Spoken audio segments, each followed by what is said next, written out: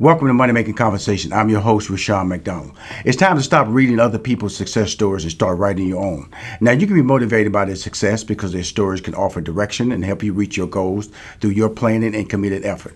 My interviews provide the consumer and business owner access to celebrities, CEOs, entrepreneurs, and industry decision makers. My next guest is Sister Souljah.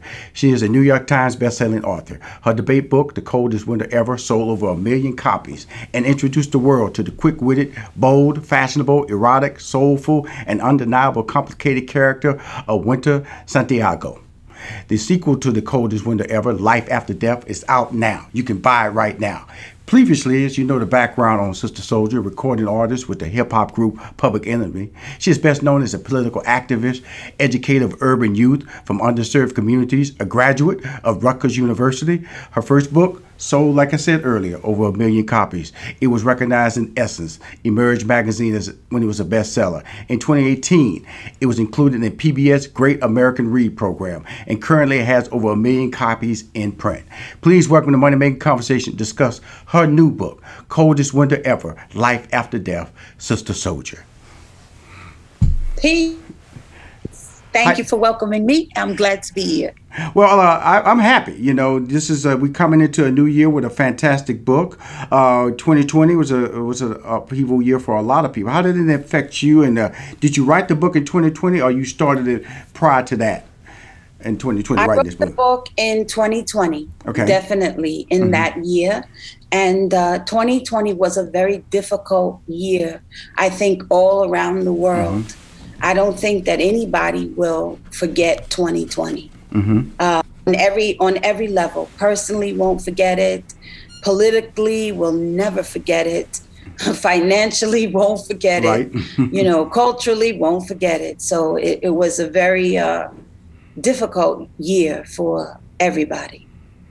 With that being said, when you work in a show, a book is complicated as this because there are a lot of complex characters, but a lot of familiar characters and a lot of people have been waiting on this book, the sequel to this book, because Winter's character, you know, in the in the previous book, they wanted to know what happened to the character. Tell us about that journey of writing the book. You said you wrote it during 2020, but I thought that was a thought process prior to 2020, laying the chapters, laying the storylines. Talk about that. Walk us through those steps. Okay. Well, actually, uh, when the Coldest Winter Ever first published in 1999, right. which I really think is 1998, but in 1999 is is the number that everybody wants to go with, so that's fine. When it first published, I wanted to write a sequel, you know, immediately. I began thinking about a sequel immediately. But then I thought about the fact that the coldest winter ever is a cautionary tale. Right. It was something not to glorify the drug lifestyle, but to expose it and show how it how drugs destroys the whole family ultimately. So, because the coldest winter ever ended with uh, Winter Santiaga being convicted and sentenced to a mandatory minimum of 15 years, I wanted that to resonate in our community for people to really feel, you know, the absence of her presence or the absence of the presence of someone that you really love or you really miss. Because that's what happens in the real world when our loved ones get incarcerated. And it's serious. So for everybody that was out there calling it the drug game, you know, glorifying it and glamorizing it, I wanted to make it clear that it's not a game. It's a death style, not a lifestyle, and that the whole family can get destroyed once you get involved in it. Well, that's important because we do have a family here. You know, you have a so, like I said, I have I didn't read the first book. I read the second book, outstanding. Uh, read from cover to cover. I generally I'm gonna tell you how I read books. I, I get up in the morning with an interview on a, a, writer about the book. I read it the day of, and uh, I, I, got up at two o'clock in the morning and I read it, and it was like. Uh, it was, it was it was very colorful. It was very um, the characters. I always like to say uh, were, were, were, were, were relatable. I thought And I thought hmm. because of the fact that, you know, they were emotionally driven, they were passionate, they were tied to a belief, and they were honest people. And I think what, what shines the most in your in your book, as in all your previous writing, this book is called Life After Death, the honesty of the characters. Talk, walk us through the steps and the honesty of the characters. And are you reaching from certain people that you know, or are these just your imagination? These characters are definitely characters from my imagination. And I think the key to writing these kinds of characters for any author or aspiring author is that you have to be able to uh, t- completely distance mm-hmm. yourself from the characters that you create. You can't look at it as you want to control the character or you want to control the character's voice, the character's desires, whatever the case. So, for example, Winter Santiaga is very different from Sister Souljah. Uh, how Winter would answer a question is completely different from how I, the author, would answer the question. So I can't start trying to slip my personality into her personality without corrupting the character. If I want the character to be genuine, I have to have let the character have a life of its own, if you will. So for each and every character in the in the books that I write, I don't let Sister Souljah interfere in the character, no matter what. Well, that's that's important to hear. But let me when they, when they sent over the information, I was reading about the the background. It was saying although Souljah, is, you know, this is a nonfiction and Winter Winter Santiaga is fiction. Both said she and I are real. That's what this, this stated in the bio. And in fact, fictitious Winter is realer than you. Talk about that when you say that. When you say, even though you said these are made up characters, the statement is that she's realer. When you say realer, what do you mean when you say that? What I mean is that she uh, uh, is she's a representation, right, of probably you know a million other young ladies in the hood and in the suburbs and the rural areas across the whole United States of America. And and it becomes obvious that she's a representation because of how great the love for her is uh, because of how high the sales of her story is. Mm-hmm. all of that is uh, is obvious. When i first wrote the book the amount of hundreds and then thousands of letters i got about winter santiaga made it clear to me that she is real and real as personified uh, in in the lives of real uh, people in our neighborhoods who feel she's real because she represents their sentiments or their emotions or their challenges or their lifestyle or you know or, or their fantasies. Right. fantasies of, of who they would like to be. No interesting thing when I when I because you're a performing artist and yes. uh, and I, I, was blessed that in my life, you know, a stand-up comedian, and I uh, got to experience heights of Def Comedy Jam, performing at Madison Square Garden, and that live that live performance is really filled with adrenaline. You know, mm. from a standpoint as a writer, and I'm a sitcom writer. I've written dramas, I've written reality shows and things like that. So that's a different level, and uh, from when I was a performing artist as a stand-up comedian and and because it wasn't as raw. And as a and as a performing artist, and you're out there rapping, that's a raw form of entertainment. When you're out there writing, what compels you and drives your passion as a writer, Sister Souljah? Uh, I think that uh, myself as a writer is is the top. Right. Is the top. In other words, uh, as a music performing artist or anything else, really, uh, a writer clearly tops all of that uh, because I have a very vast imagination. I have thousands of stories in my head.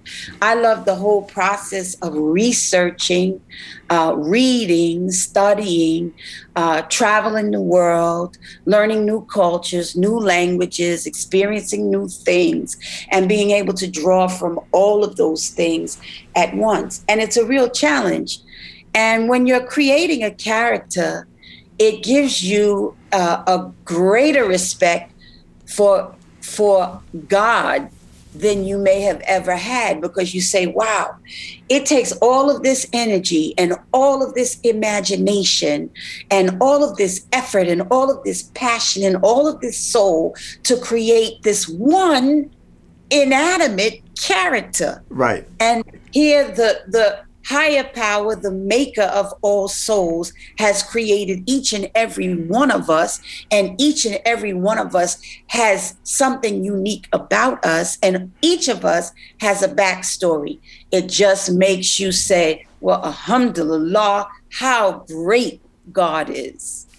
You know, it's really it was really great talking to you. I want to thank you for taking the time to discuss your book that's out now, Life After Death, the sequel to the coldest winter, winter ever, and winter being the, the lead character in your uh, in your novel series. Uh, you know, you said something earlier. We was talking about drugs, and you was talking about that lifestyle, and you your goal was not to glorify it. That's why right. she went to jail 15 years and, and served every year of that in prison and that's very important in your storytelling dynamics. And so when I when I look at the reality of what life is, your education, you know, your degree, graduate of Rutgers University. Tell us how important that is, and how important is that part of your legacy when you're talking to young people about your career, and you're talking about your career as a writer now. Well, I think the university level is important, uh, not for the same reasons that maybe other people think is important. I think it's important because, like, for somebody like me who came from the Bronx, right, and then uh, came uh, from the poor suburbs, you know, after the Bronx, uh, going to a university and seeing the facility itself is a very amazing experience. Going out on the yard and seeing all of the organizations that the university offers and realizing that anything you ever imagined in your life, you can learn and master in a university is a very uh, wonderful feeling. So if you're standing there, you just arrived, it's your first week on campus, you can join an organization to row a boat if that's your right. thing. That's you want to row a boat, you want to play the piano, you want to be in the science club, you want to do experiments, you want to uh, jump out of airplanes, you want to shoot rifles, whatever you want to do. And on a university level, uh, in a major university, it's an opportunity that's there and all of the resources are there.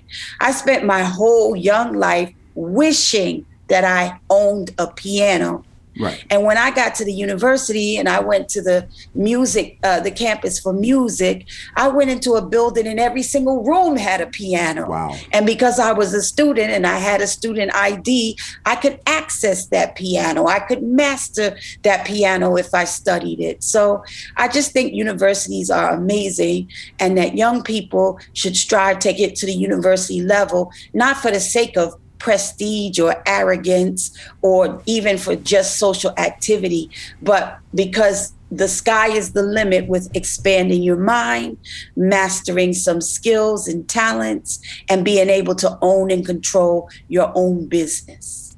And that's important. And I, I wanted to make sure I talked about your, your, your college education because you know, it, it, changed my life. You know, my degree is in mathematics and my minor is sociology, and and I like you, I went to college and it changed me, and it and it changed me in so many ways because it showed me there's so many avenues of what I could be.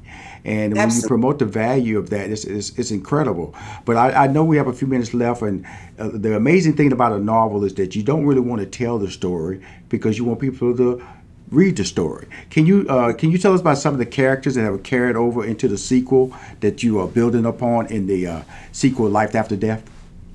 Yes, in Life After Death, you will see, of course, Winter Santiaga. She's the main, she's on the main stage in the spotlight. Mm-hmm. And then you'll see Midnight, of course, because whenever you see Winter, you have to see Midnight. Come on now. Come on now. And you will see Winter's sister, Porsche Santiaga. Mm-hmm. And she has a book of her own, and she is quite dynamic, if I should say so myself. And uh, you'll see the man that Porsche ended up being married to. Um, you will see Ricky Santiaga. Oh, that's a big one because you know everybody loves him. Mm-hmm. And you'll see even Lana, glimpses of Lana Santiaga. Mm-hmm. Uh, so yeah, it's all of the characters that you met in the coldest winter ever. Mm-hmm. And for some of the characters, like Winter's friends, in life after death, you'll see more right. insight into into Winter's friendships and the characters, the same characters from the coldest winter ever, but after 15 years of serving uh, a prison sentence. Like you say, you're gonna look different, walk different, talk different, and it's because the life they live now is different. An incredible yeah. read. I'm just gonna let you know I read it, and, uh, and, I will recommend it to my friends. I'm gonna put it in my newsletter, put it on my social media. Uh, a great novel. You're, you you know, you're, the blessing of this conversation I'm having with you, sister soldiers, that uh, you know you're a transcending person. You know, you like you said, you come from the Bronx. You know, you're you're, you're happily married. You have a child. You know, you live in a life of, uh, of that you want to live. And I feel as a writer, as a successful author, just tell me this. Uh, you know, we, we do these things creative. I was fortunate to be with with Steve Harvey, and we did uh, Act Like a Lady, Think Like a Man, and nobody told us we would sell books, and we sold 3 million copies. How did it feel to realize you had a bestseller in your hands? Well, I'm going to tell you, I like the reaction of the people yes. in the neighborhoods mm-hmm. that I grew up in. So I like like uh, if I walk down the street in Harlem, you know, I'll hear people whispering, "Oh, oh, there, there she go. It's mm-hmm. the girl. Mm-hmm. What girl? Even though I'm a grown, mature woman, right? what girl? The girl that wrote the book. Right. What book? The book. Mm-hmm. The book. She wrote the book. Right. and, and, so I love that kind of feeling because it's a neighborhood that's familiar to me. It's mm-hmm. people that's familiar to me. And it's even better than any award or any, you know, official kind of congratulations that you can get when you've seen your own people totally engaged in the words that you've written on the page. Well, it's fantastic words, and thank you for allowing me to speak to you and have an honest conversation about a brilliant writer, a brilliant artist, and an amazing talent. And keep transcending the world with your colorful style of writing and your and your activism. Thank you for coming on Money Making Conversations. Thank you for welcoming me and thank you for putting me in your newsletter. Absolutely, girlfriend. You the thing. You as they say, you are the one. She the one. She the one. Right there. The book. The book. That's right. The name of that book is, you know, Life After Death by Sister Souljah. Again, I want to thank everybody who comes to Money Making Conversation. If you want to see more interviews or hear more interviews, please go to moneymakingconversation.com. I'm Rushion McDonald. I am your host.